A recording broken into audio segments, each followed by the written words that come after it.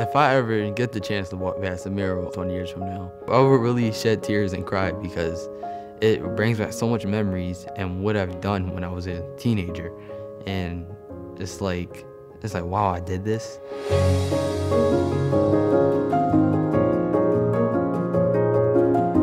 We are standing in front of one of the most beautiful murals ever.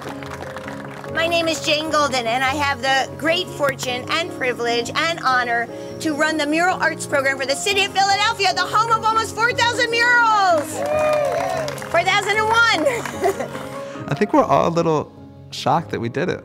So, you know, you, you go through this process, you design it, there's all this work to make it happen until it's on that wall, until you're able to step back and really experience it together. You never know what it's going to look like. When you put together Dow's 60 years expertise in making and creating paints and coatings for the industry, and the know-how and the creative spirit of each student from the Lenfest Center, this really becomes a great force of change. Dow has just been an amazing group to work with. And being at the paint farm itself and having access to all of the Dow employees was an incredible opportunity for our entire staff. See the hiding over here versus. Plus, it's, it's just a really amazing, cool place to go see. Just the visual impact of those fields. So seeing all of these samples laid out, some of them being outside for, for decades, right? Over here, we put it on one and a half times. And it's great to be in an environment where people are really thinking about paint. What makes it last? What makes it stay bright? What makes it survive the elements? In higher quality paints, we actually use what we call rheology modifiers.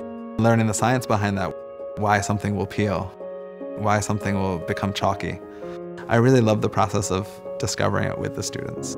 Do you see up here what these are? Pentagon. Like pentagon, right?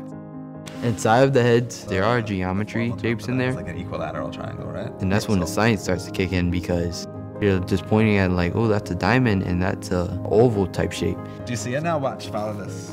So follow this, see it? The students had an amazing experience on this project, developing the design from the ground level, and then to see themselves in the mural, in huge scale on a wall somewhere. I see one of my designs over there, the green and black. Yep, and your name's over on the right, you know that? Their energy level, their engagement, they got to see the world in a different way. And it's really exciting, you know, to have something small worked out on a computer or worked out on a small design, but then to see it larger, larger than you on the side of a building and knowing that it's really impacting so many people.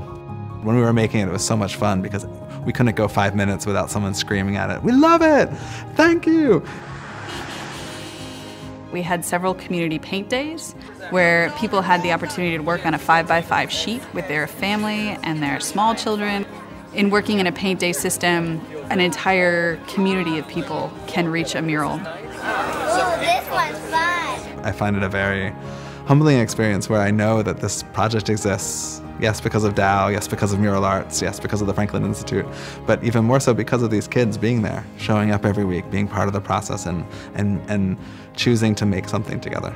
Remember, what you did is you created, you, you, you found the center of your circle, and you put your the, the center point of your second circle.